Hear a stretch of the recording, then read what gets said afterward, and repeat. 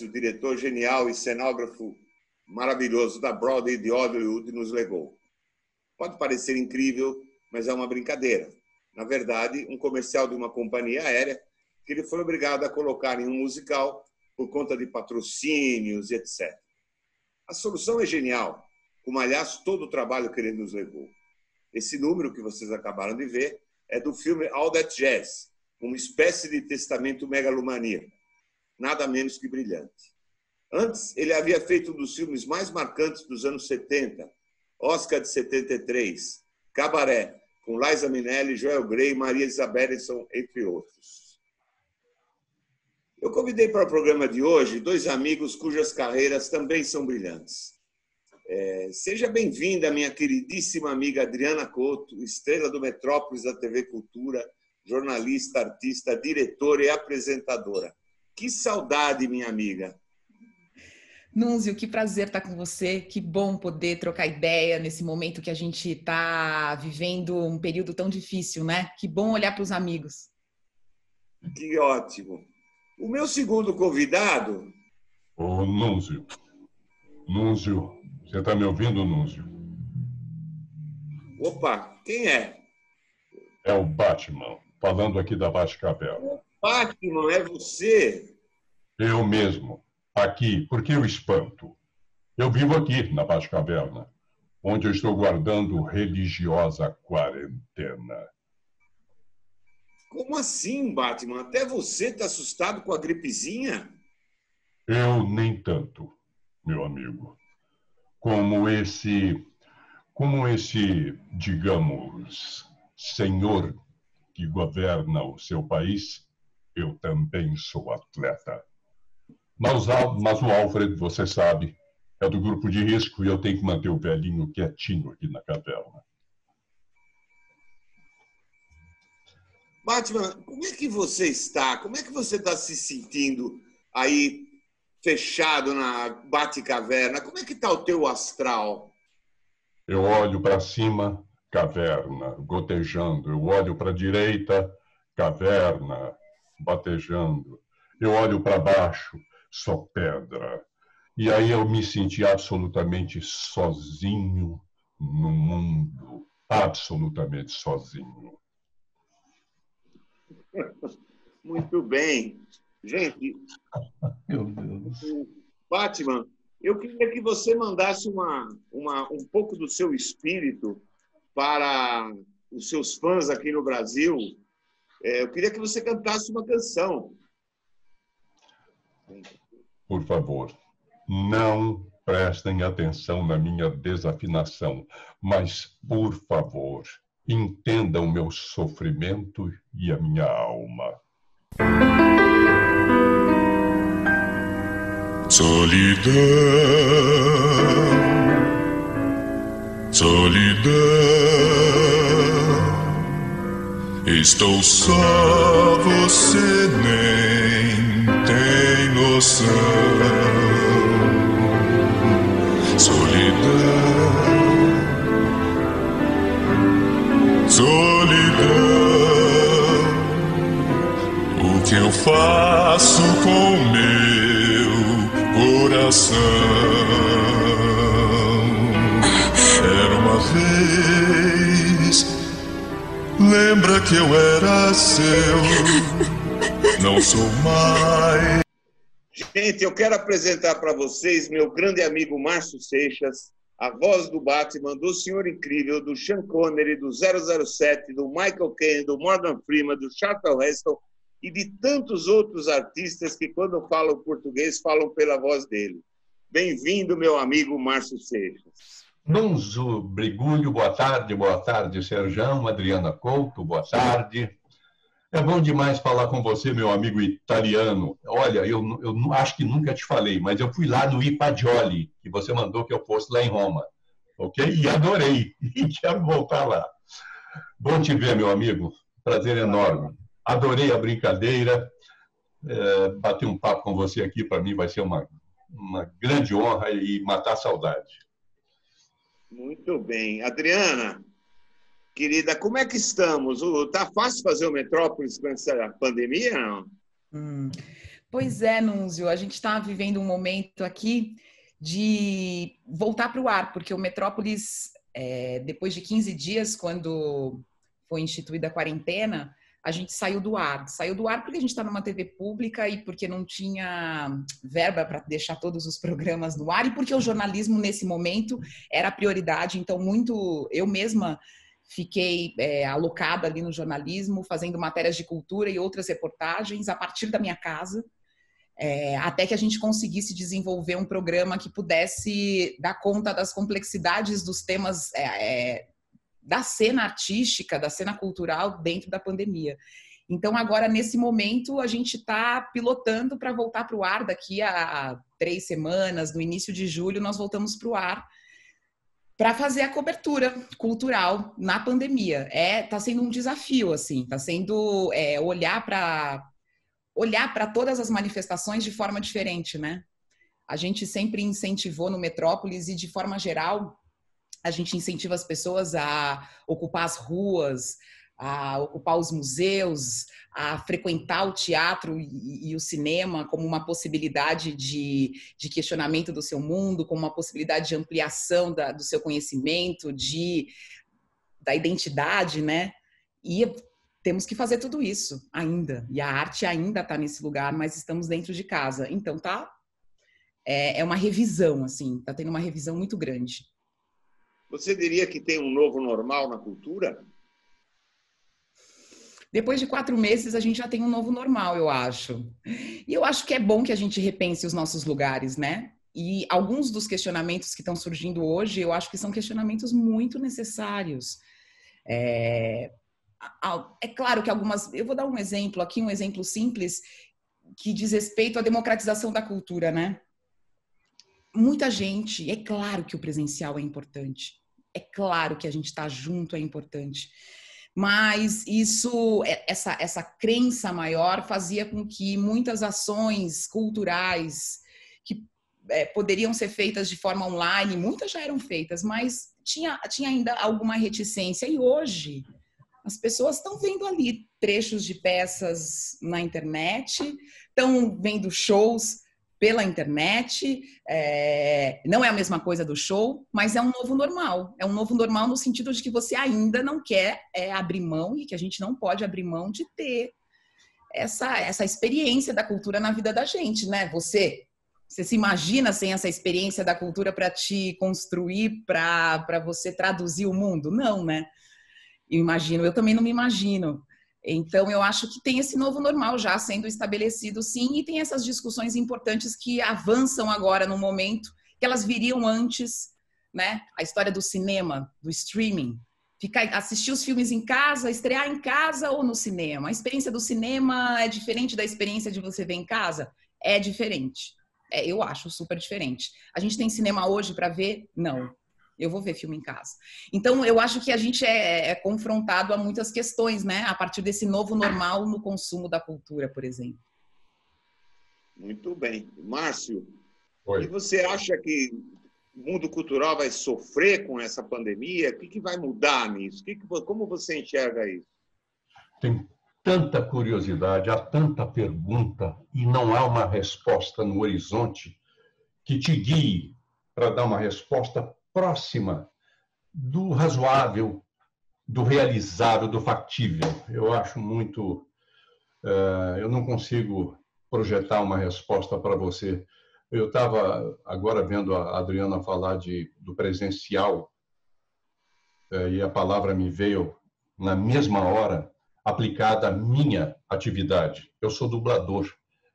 Eu passei a minha vida inteira, Núnzio, Adriana, com os colegas à minha direita e minha esquerda, numa bancada semicircular com um microfone só, um microfone dentro dessa bancada, e cinco, seis e até mais dubladores num semicírculo falando o seu texto, o que gerava um, um suplício para o operador, porque o operador dizia assim, Márcio, sua voz está muito forte, fica para trás.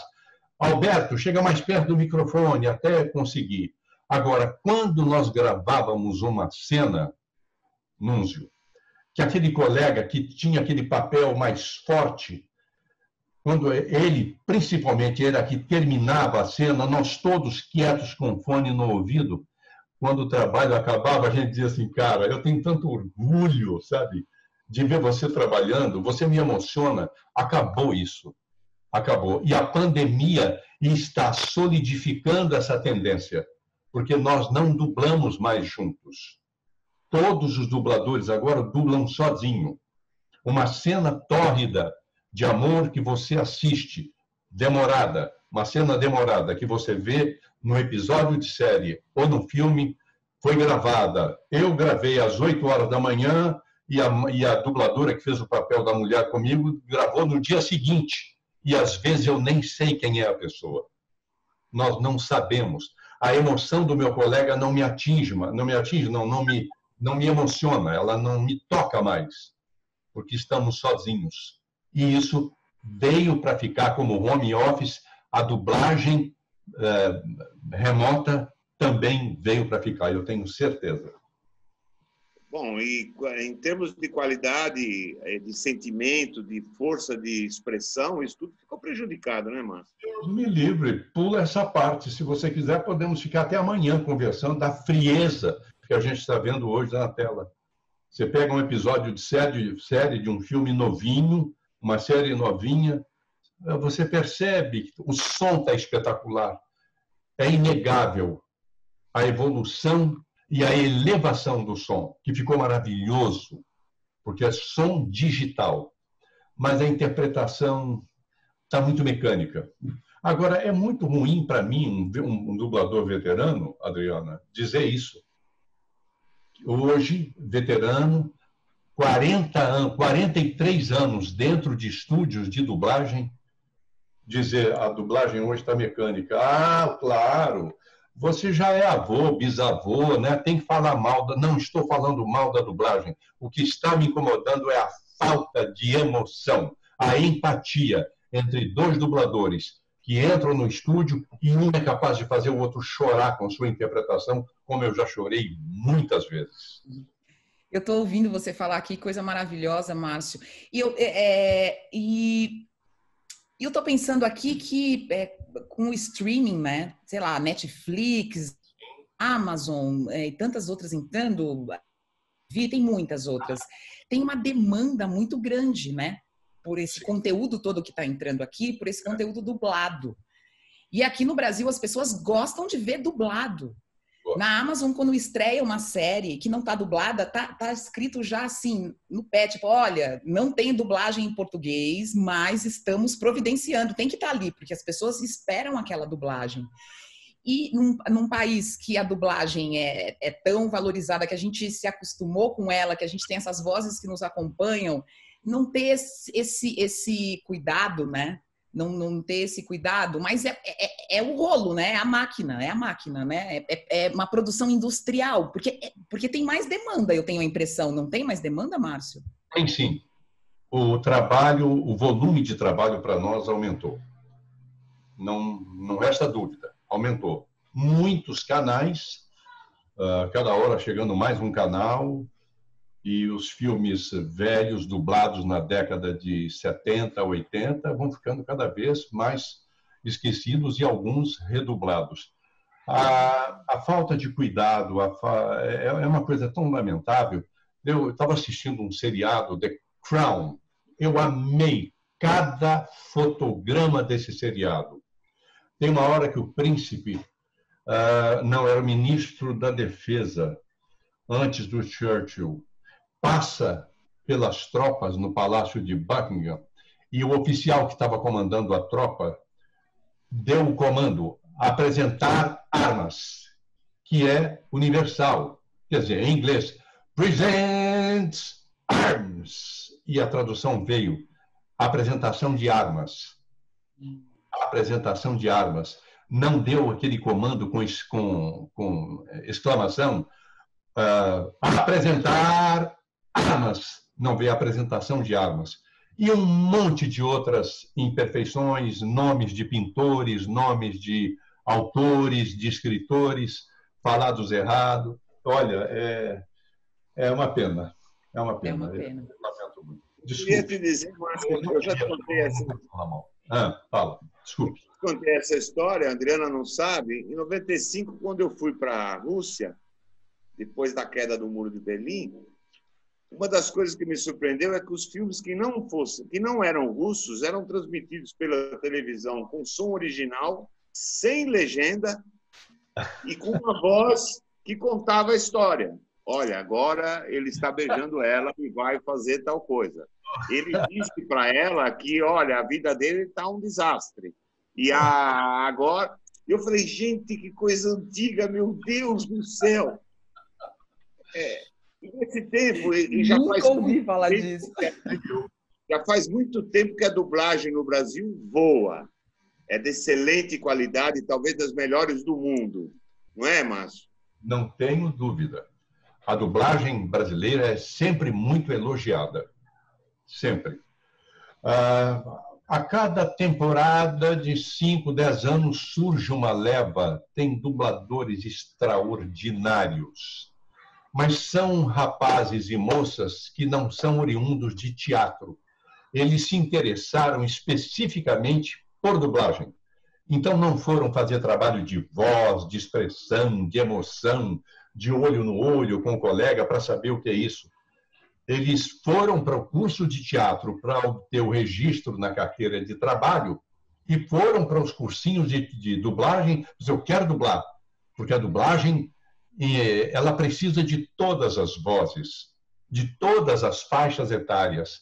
Não pede voz bonita. A dublagem precisa de vozes.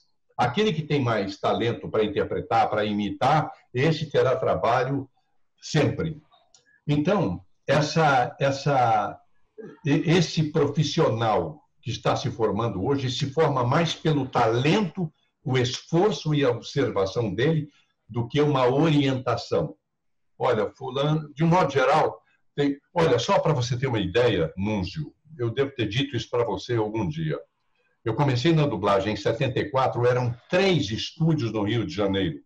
Hoje são mais de 25 em São Paulo tinha a IC São Paulo, uh, um, uh, a IC, uh, aquela do Michael Stoll, esqueci o nome, e uma terceira, no máximo uma quarta.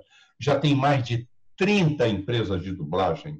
Campinas já está dublando. Brasília já começou a dublar. Belo Horizonte tentou, parece que não deu certo, desistiram.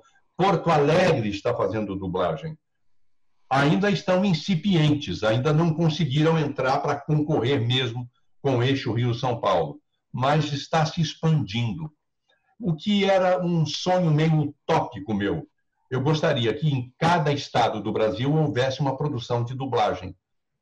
Mas a, a, a reação, por exemplo, ah, você imagina uma dublagem de um clássico de Shakespeare com sotaque baiano. Que, mas que preconceito idiota!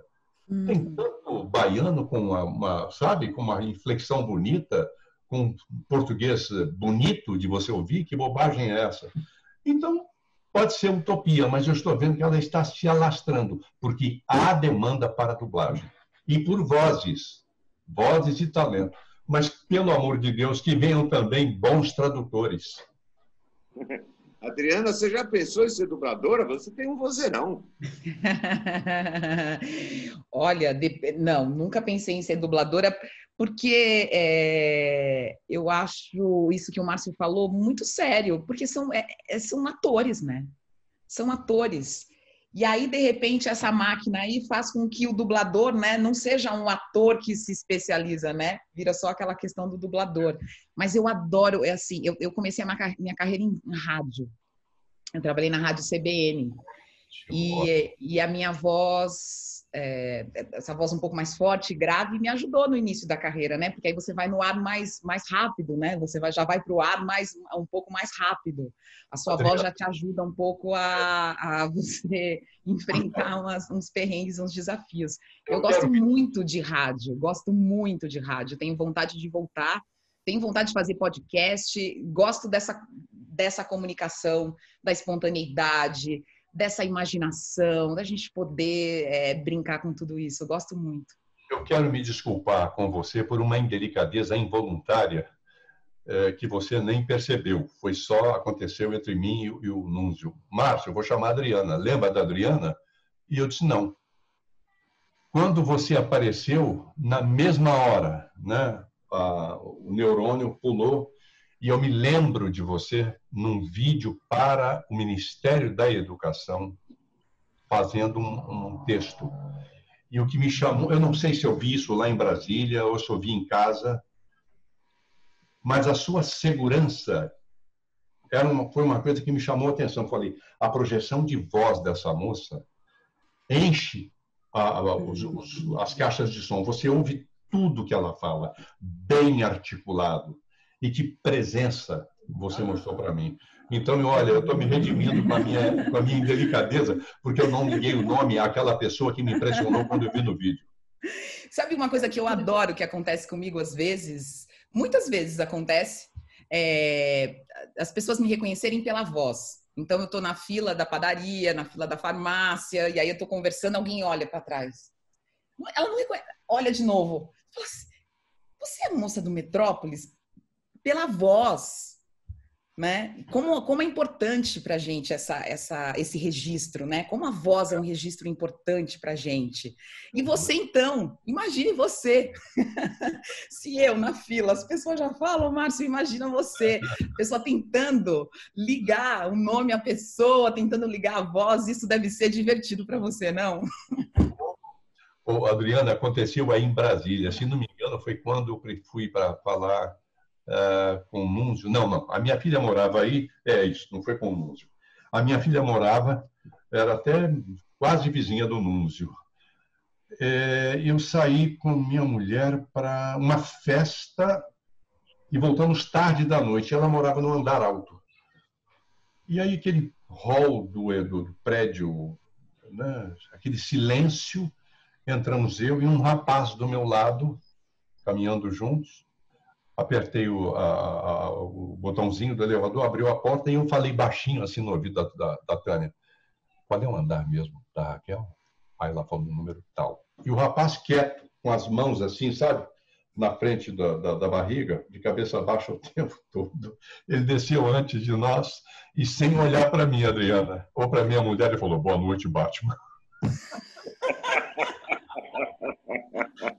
Essa foi uma das mais, mais divertidas que já me aconteceram. Eu tive uma, uma experiência com o Márcio e o meu filho mais velho, o Marcelo. O Marcelo tinha um problema de incontinência urinária, Adriana. E não havia Cristo que resolvia. Médico, psicólogo, nada resolvia. Aí eu estava no Rio, conversei com o Márcio, falei, cara, eu não sei como resolver esse problema. Ele falou assim, não, vamos fazer assim, uma noite dessas a gente combina, eu ligo para ele, você me passa o telefone, né? Tá bom.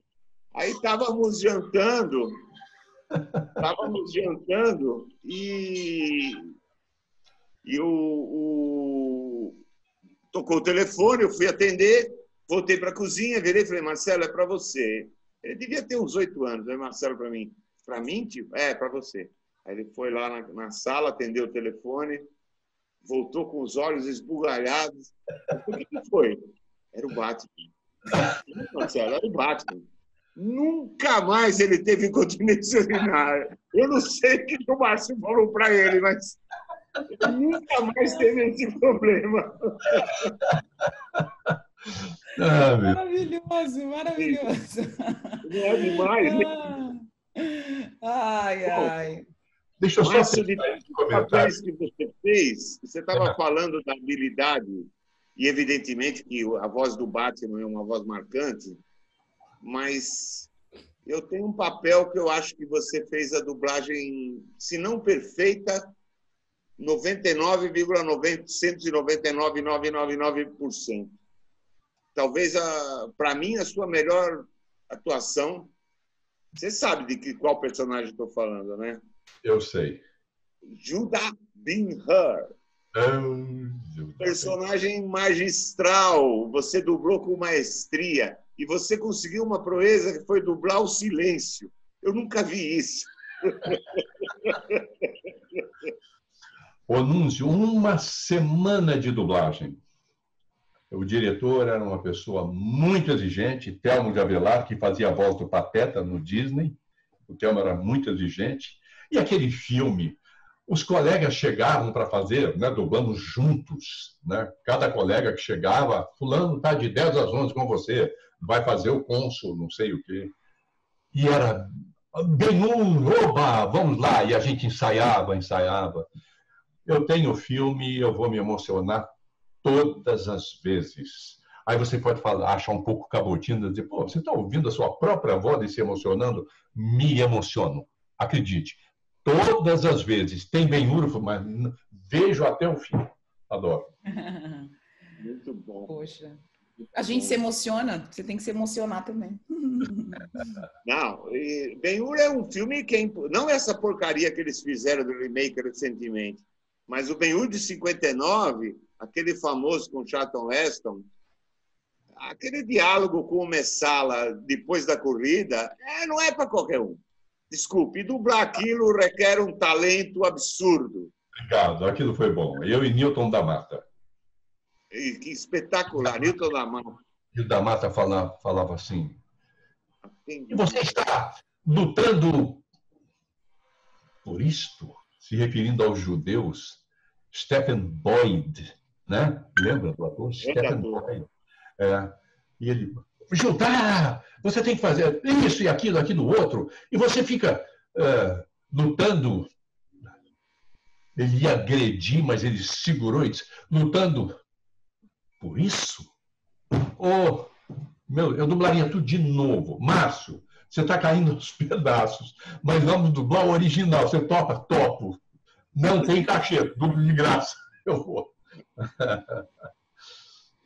Bom, gente, nesse momento eu vou fazer um break no programa para introduzir o quadro da Nina, que vai ensinar a gente a fazer um coquetel. E eu acho que é um Negroni diferente feito com rum. A gente já volta.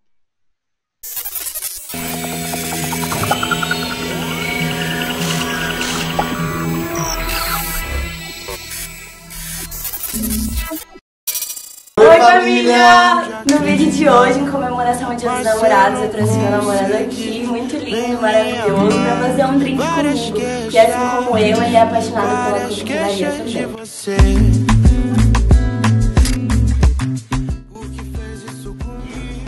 Isso aí, galera. A gente vai fazer um drink bem diferente hoje, um drink que a gente tomou uma vez no Ipo Bar. Não sei se todo mundo conhece, mas é um bar maravilhoso, vale super a pena ir. Quando acabar essa pandemia louca, essa quarentena maluca. É uma releitura do nosso drink favorito, que no caso é o Negroni, só que nesse caso ele vai com rum no lugar do gin. E a gente vai ensinar vocês a fazer ele hoje. Presta atenção. E pra fazer a nossa releitura do Negroni, a gente não tem o nome certo pro drink ainda. Não mesmo, é verdade. A gente vai criar um nome. A gente vai precisar de rum, um anemo branco, vermute tinto e Campari. Começar. Então vamos lá. Primeiro de tudo, a gente vai gelar o mixing glass.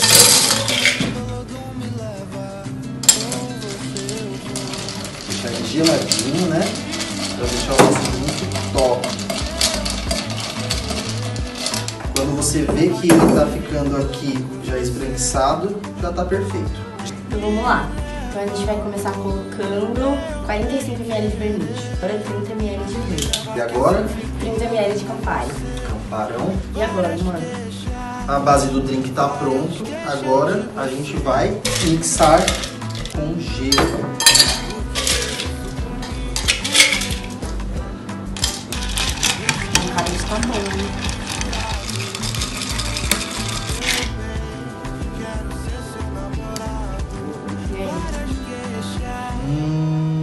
Só fazendo pra entender, hein? Vamos lá.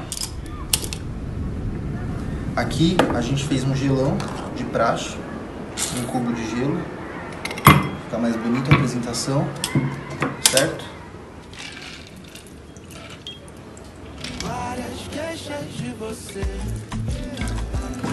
A gente caramelizou uma maçã com açúcar e flambou ele com rum para adicionar mais sabor, mais aroma no drink.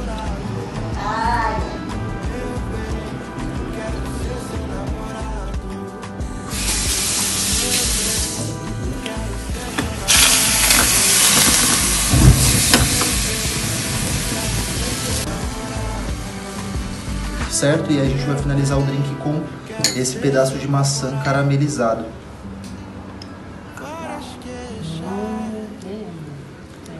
E pronto. Ficou muito bom. A gente não tinha testado ainda, a gente fez tudo na improvisação, mas ficou maravilhoso.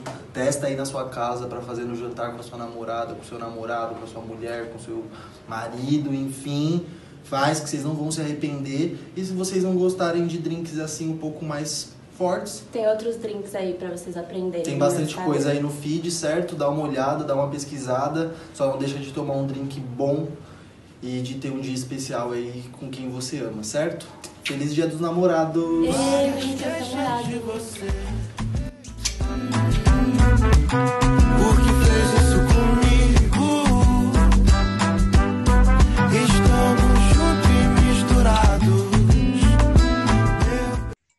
Estamos de volta e, como de hábito, eu agora vou fazer a indicação de dois filmes para quem está se guardando na quarentena. O primeiro filme está na galeria dos meus preferidos. E eu quero ver como é que o Márcio vai me explicar isso. É o filme O Homem que Queria Ser Rei, de John Huston, uma adaptação perfeita do romance de Rudyard Kipling para o cinema. Dois aventureiros que ficaram perdidos na Índia colonial no final do século XIX e decidem ser reis do Cafiristão. Huston queria Clark Gable e Errol Flynn nos dois papéis, mas os dois morreram. E ele relutou em aceitar Kane Connery, mas a química entre os dois foi perfeita. O filme está disponível no YouTube, não sei se de graça, mas está disponível. Solta o trailer, Sejão.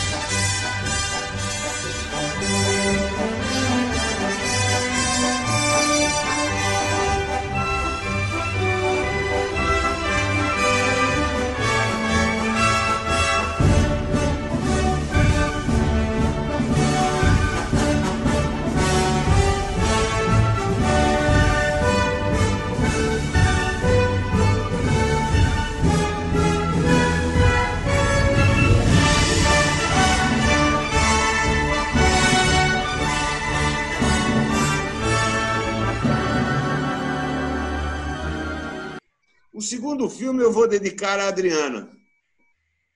E é um dos mais emocionantes que eu já vi. Nós estávamos falando que Ben-Hur é emocionante, mas esse é de arrebentar coração. Trata-se de A Cor Púrpura, de Steven Spielberg, com música de Quincy Jones. Nesses tempos em que ainda e sempre é preciso reafirmar os direitos civis, notadamente dos afrodescendentes, esta é uma indicação imperativa.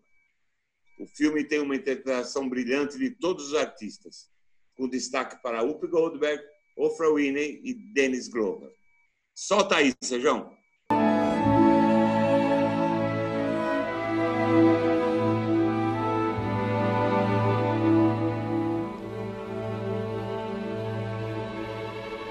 The Color Purple. An American story for the whole world. It's about life It's about love. It's about us. You will always remember, Mr. Suge. Old Mister. Nettie. Harpo. Squeak. Sophia. And Seeley. You will never forget the color purple. Bom, estamos de volta. É, Márcio, como é que você fez? Você dublava o Michael Caine e dublava o Sean Connery. Como é que você escolheu? Se me fosse dada a chance de escolher, eu falava que quero fazer os dois. Embora dublar o Michael Caine é, é- é trabalho braçal.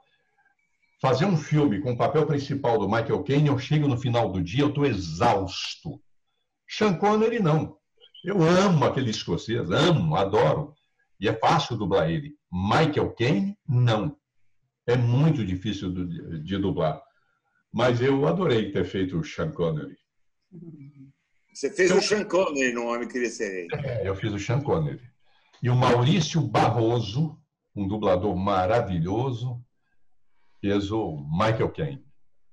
Tem uma cena no Homem Queria Ser Rei, Adriana, em que o, o- eles chegam numa vila lá no Cafiristão e os, os habitantes ficaram chocados por causa da precisão do rifle.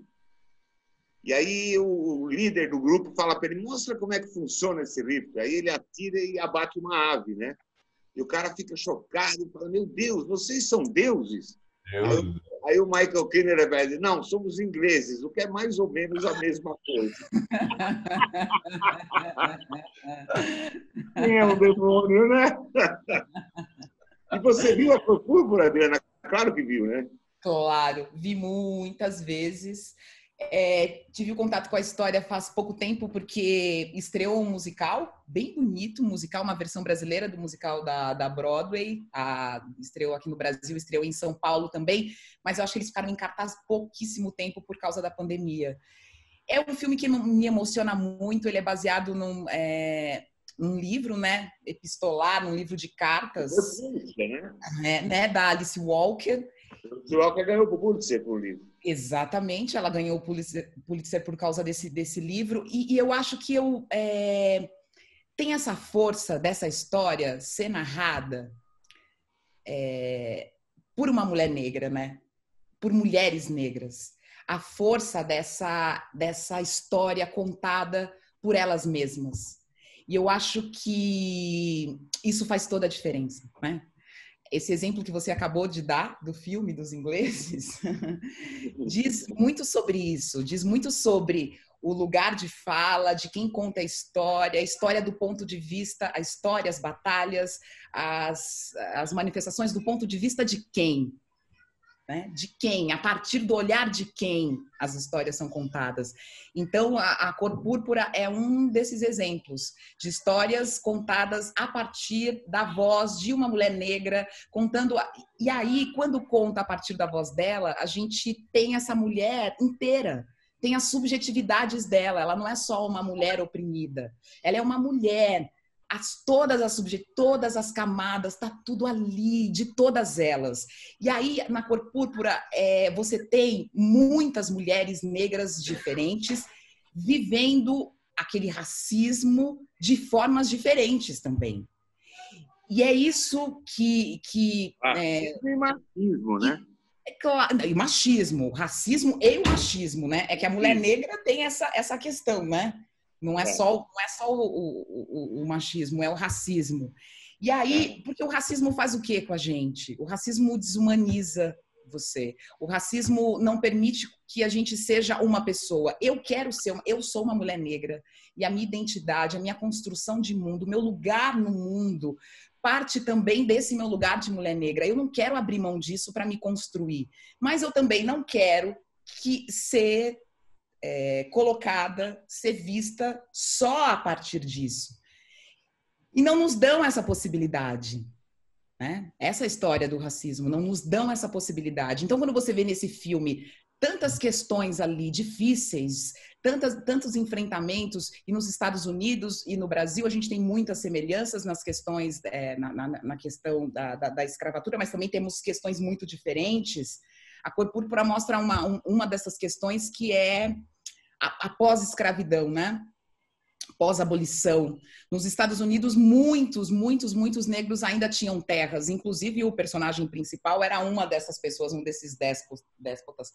É, então, é, você já tem, você tem muitas questões ali interessantes até para balizar, para entender, mas principalmente essa subjetividade das mulheres, de ser uma mulher negra no mesmo momento, vivendo as mesmas opressões e porque elas são diferentes e porque são pessoas diferentes, elas reagem diferentes, sofrem diferentemente, todas sofrem muito, mas tem uma construção muito, muito bonita, é, é, uma, é uma, uma construção, é, é tem discussões da ancestralidade, tem a ligação com, com a irmã, é um filme muito tocante. Marketing, é um né? Uhum. É, Deixa, fala, Márcio. Deixa eu cortar sua palavra. Quando você falou das irmãs, porque esse filme, a gente já fica com mão na garganta vendo o filme. A cena das irmãs se despedindo e ela indo chorando embora, nossa, meu Deus, aquilo é dilacerante. E aí eu me lembrei, eu sou eu sou descendente de portugueses, meus olhos são azuis, meu pai tem uma pele cor-de-rosa, mas o meu avô era negro. Adriana. Então, em alguns momentos, que eu não vou saber localizar agora, em que pessoas, amiguinhos, não conheciam meu avô e ele chegava, oi, vô! E eu me abraçava nas pernas dele, ou me abraçava na cintura dele, aquele olhar de garotos brancos, avô, e era negro. Negro, Adriano, não é mulato, não é moreno, ele era negro. E a minha mãe era mulata. Então, é. eu conheço, eu conheço esse olhar. Como? Rapaz, você é branco, olho azul. Ele é negro, sim, mas é o meu avô, pai da minha mãe. É. Esse olhar, né? É. Esse olhar que você tem que carregar a vida toda sendo, É. sendo olhada desse jeito, é algo que você tem que ter uma força muito grande, tem, você tem que se construir em muitos aspectos. Eu, eu, eu fui uma criança é, que não teve dentro de casa a discussão racial, mas meus pais, mas eu tinha os meus pais e as minhas irmãs dentro de casa. A gente não tinha as, discussões raciais, mas essa família estruturada faz muita diferença na vida da gente, de qualquer criança, de qualquer pessoa. Essa, é, esse olhar para a gente faz muita diferença, mas a discussão racial a gente não teve. Isso quer dizer que eu tive contato com a minha negritude, com a minha ancestralidade, a partir desses olhares, a partir do preconceito. Isso é, fez com que eu tivesse é, um outro movimento na minha vida para descobrir essa negritude. O, o, racismo vai vir, né? Nós estamos lutando contra ele. Você tá ali, ele vem. Mas se essa criança negra, se essa criança branca também, mas eu pensando na criança negra, se essa criança negra, se ela tem a oportunidade de celebrar a negritude dela de outras formas, de não, do primeiro contato não ser a partir do racismo, isso te fortalece tanto, né? Te fortalece tanto você poder olhar e, e, e poder se espelhar em pessoas no rádio, na televisão, na vida, na rua. É, isso faz muita, muita, muita diferença. Adriana e Núvio, deixa, deixa eu sugerir para vocês um seriado. Preparem a caixa de lenço, porque tem coisa de racismo ali que vão emocionar você. Choramos muito, eu e minha mulher. This is us. Eu fiquei chocado com a minha mulher essa semana que falou, sabe a roteirista do This is us que nos fez chorar muito? Acabou com a vida. Veja anúncio, não viu ainda? Qual a plataforma que está, Márcio? Netflix. Netflix. This is us. Não deixe de ver. Não deixe. Adriana, o paradoxo, um país que eu acho que foi o que mais maltratou, torturou e matou negros foi a América, a América do Norte. E tem uma indústria de cinema que nos emociona com histórias, algumas fictícias, outras verdadeiras, de negros que venceram, negros que venceram preconceito, que foram torturados, histórias. Adoro ver essas histórias, não por acaso, claro. E um país que maltratou tanto, que acabou de matar de forma grotesca, faz filmes que nos emocionam sobre racismo e sobre preconceito. É um paradoxo isso, nós não vamos entender nunca. É, não, mas tem uma, tem uma questão aí que eu volto até na, nessa, na história da cor púrpura. Da gente poder contar a nossa história. E o audiovisual brasileiro está nessa luta porque é, como é, nós negros, principalmente aqui no Brasil, eu acho que nos Estados Unidos também, é diferente dos, dos, dos, negros africanos, né? Os afrodescendentes têm uma outra relação, porque a nossa cor, a nossa cor, a, nosso fenótipo também nos ajuda a entender a nossa identidade, né? Então tem, é, é, uma, é, é, uma, é uma outra relação, porque você vê, você, eu tenho amigos africanos que dizem isso, dizem assim, ah, bom, a minha identidade ela não foi construída a partir da defesa da minha negritude. Eu não, eu, eu, a minha identidade não foi construída assim. Eu, eu sou negro, eu sou negro porque onde é o meu papel nessa sociedade é, é uma outra construção de negritude que os africanos trazem para gente. Mas na, na América a gente é, a gente vai se construindo, né? Como, como me tornei negra? Tem um, um livro lindo da Bianca Santana dizendo isso. Como eu me torno negra? E o audiovisual é esse lugar né, da, de, da representação, da, da, da representação da, da, identidade de um povo, de uma cultura, e o audiovisual brasileiro carece da voz do negro contando a sua história. Isso faz diferença porque você vem com outros, outras questões, outras nuances. Essa, é, é, é são, são questões muito complexas que precisam de perspectivas diferentes para a gente alcançar algum tipo de reflexão. E no audiovisual dos Estados Unidos, a gente tem na mão de produtores, diretores, atores negros é, essa a narrativa. A narrativa está nas mãos deles. Eles sempre produziram uma narrativa. E é importante isso. É importante para a construção da, da negritude deles e para a construção da identidade desse povo que está lá.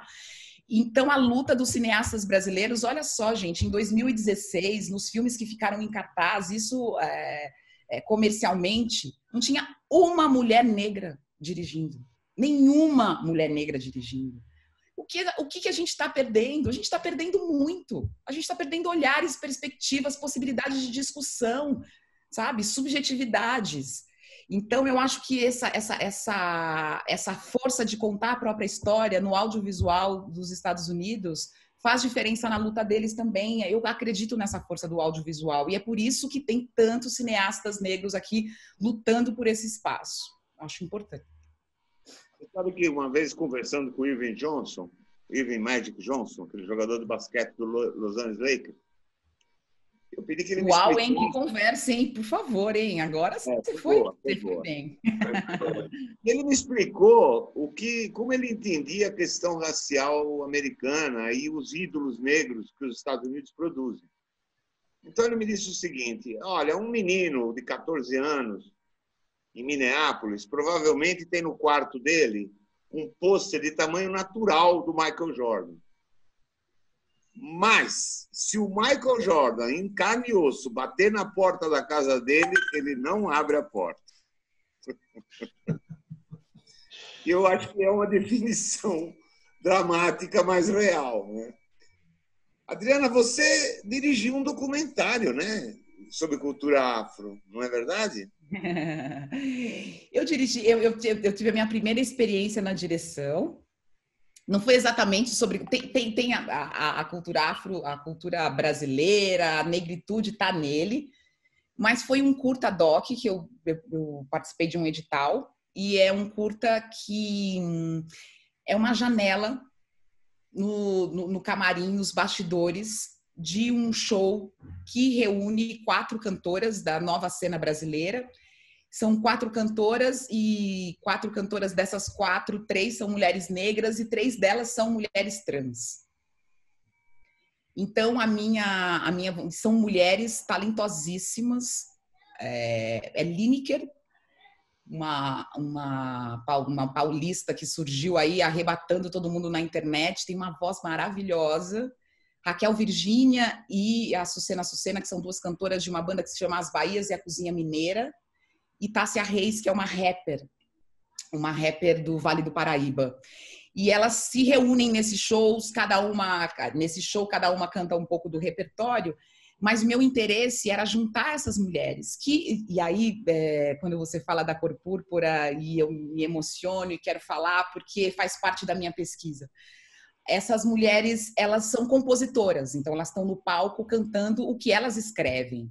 E a vivência de uma mulher negra, trans, me interessa me interessa essa trajetória dela, não exatamente ela contando o que é, onde foi que ela é, sentiu o preconceito, mas a partir dessa experiência dela da vida, como que ela traduz tudo isso? Então, a mim interessa. E eu queria mostrar essa potência, queria mostrar a potência dessas mulheres trans artistas num ambiente de afeto, num ambiente de acolhimento da arte, num ambiente que elas não estão sendo rechaçadas, não estão sendo olhadas é, de é, assim, um viés, não estão sendo é, discriminadas, elas estão sendo protegidas pela arte. Então é um pouco é um pouco isso, é uma caixinha ali, é a gente entrar como mosquinha dentro desse camarim, olhar um pouco as interações e, e no meio dessas conversas tem muita coisa engraçada, tem muitas questões políticas, porque você ser uma mulher trans no mundo é uma questão política, né? Então imagine assim, você é, eu sou e vou para a rua, mesmo com todo mundo olhando para mim. Que força é essa, gente? Que força Incrível, é né? essa? E que força é essa? E que coragem é essa, sendo que o Brasil é o país que mais mata mulheres trans no mundo? É verdade. É... Como? Como que você ainda mantém essa fagulha de liberdade, de esperança no meio de tanta opressão?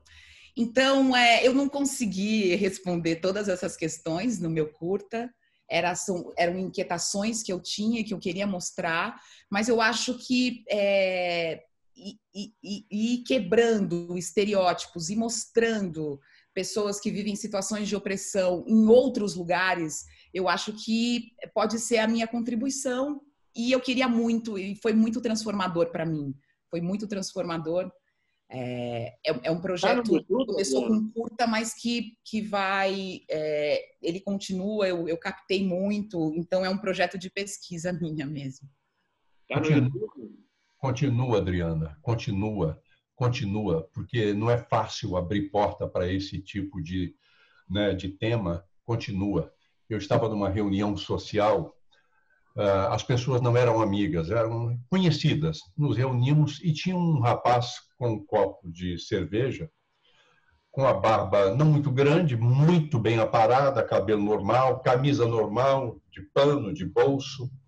E a conversa seguia tranquila quando veio a palavra preconceito. E do nada esse rapaz falou, cerca de 30, 35 anos disse assim: eu tenho, eu vivo um problema que eu não estou tendo força para resolver. A minha família quer que eu me case, toda hora fica me apontando. Fulana já está com 18 anos. Você já viu a filha de Fulano? Meu pai era do Banco do Brasil, meu avô era, meus tios são do Banco do Brasil, eu sou do Banco do Brasil e eu detesto o que eu faço a minha mãe está sempre me perguntando onde é que eu vou no fim de semana, por que, eu não arranjo uma namorada, está preocupada com a minha solteirice, e eu não posso contar para minha família que eu sou gay. Você pode imaginar, Adriana, à medida que ele falava, mas ficou um silêncio no ambiente, que todo mundo olhava para ele, e ele parou de falar. E ele ficou varrendo o ambiente, assim, olhando para todos, e ele disse uma frase que eu jamais vou me esquecer. Eu sei que vocês sabem o que eu sinto, vocês não sentem o que eu sinto. Nossa, isso que coisa bonita de ouvir. Ele acabou de falar e o que, que você fala depois de ouvir um negócio tão doído como esse? Não, o melhor é calar a boca. Não, que isso, rapaz, enfrenta, manda a sua família a merda. Não, não é assim não. Continua, Adriana. O seu tema é maravilhoso. Ah, que bom. Muito obrigada. Adriana, Muito está na, na, no YouTube? Então, é, é, o meu, meu curta vai. Mês que vem ele vai para o YouTube, sim. A gente estava participando de uns festivais e alguns festivais você não pode colocar né, na plataforma, tem que ser, tem que estar tá inédito. Então, no último festival eu participei agora, então acho que o mês que vem eu já, já, já disponibilizo no YouTube, se chama O Fervo. É a minha primeira experiência, espero que vocês gostem, depois a gente conversa a respeito mais. Mas é para mim também foi bom, foi bom é, sair desse lugar só da apresentação, foi bom, foi uma experiência desafiadora para mim também. Então, estar tá em outro lugar, de estar tá atuando, de estar tá estudando, então foi muito, foi muito legal. Quando você Agora, acaba... Márcio, Márcio, eu queria que você contasse. Eu já sei da história, mas queria que você contasse como é que você fez para dublar um negro velho da Geórgia, com aquele sotaque todo? Como é que você conseguiu transformar isso para o português? Ô, ô, se você pegar o original, Morgan, no original, ele tem. É porque a voz dele é grave. O meu avô também tinha uma voz muito grave, mas ele tinha uma, ele tinha uma gagueira no início das palavras, que ele não falava assim, Adriana, não ia falar assim, Adriana, eu quero falar com você sobre o seu, o seu documentário. Era uma gagueirinha no início de palavras, um vozeirão. Mas quando meu avô colocava a voz contando uma coisa engraçada, ela, atinge, ela ia para um timbre, para uma região as risadinhas dele, quando não eram escandalosas, eram fininhas, como o original faz conduzindo Miss Daisy. E aí eu botei alguns cacos. Eu não fiz isso com a intenção de chamar a atenção da família em Belo Horizonte. Mas tem um momento que ele está mexendo num jardim e a, e a, e a, e a mulher chega assim: O que, que você está fazendo aí? Eu estou aqui plantando uns, uns pezinhos de feijão manteiga né? o sotaque mineiro e a vozinha lá em cima. Minha mãe chorou. Oh, meu filho, como é que pode? Como é que descrever uma coisa tão parecida com o papai falando, mãe, não tinha isso no texto, fui eu que botei. ah, gostei demais de fazer esse trabalho. da sua dublagem, Márcio, sem dúvida. Gente, quero agradecer muito a presença de vocês. Foi um programa maravilhoso. Já que nós estávamos falando com Morgan Freeman, nós vamos terminar com uma cena dublada de Conduzindo Miss Daisy, é, justamente a cena célebre em que ela quer ir no supermercado e diz que vai de bonde.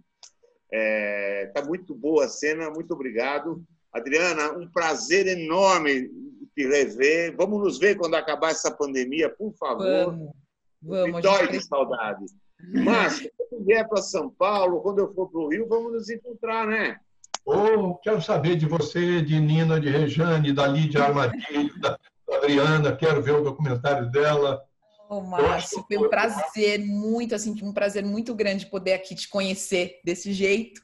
Muito Mas estou muito feliz, muito feliz por saber. A gente já sabe, né? Você ouve a voz, já está na nossa vida, sabe que é um grande artista, mas aí quando conversa, Estou aqui encantada com você. Muito obrigado. Eu Muito obrigado, foi um prazer, hein? Um beijo, Núnzio. Sucesso, Núnzio? Sucesso para vocês dois. Tchau.